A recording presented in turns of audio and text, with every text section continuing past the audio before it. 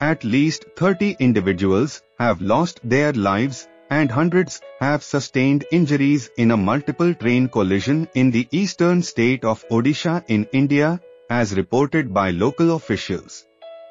The Chief Secretary of the state, Pradeep Jena, stated that nearly 50 ambulances were dispatched to the scene in the Balasore district. The collision involved two passenger trains and a goods train. Indian Prime Minister Narendra Modi expressed his distress over the incident and extended his condolences to the grieving families, stating that rescue operations were currently underway and all possible assistance was being provided to those affected. The Home Minister, Amit Shah, described the incident as deeply agonizing.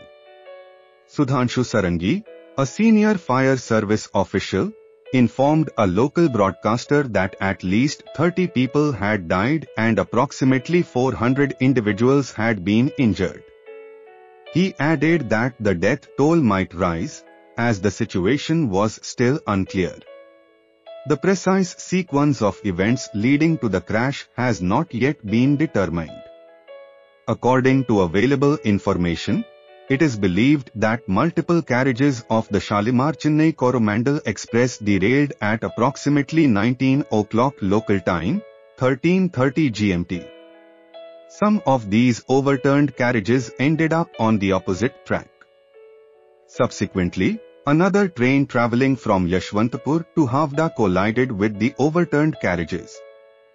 Surviving passengers were observed rushing to aid in the rescue efforts for those trapped in the wreckage. Rescue operations were planned to continue throughout the night.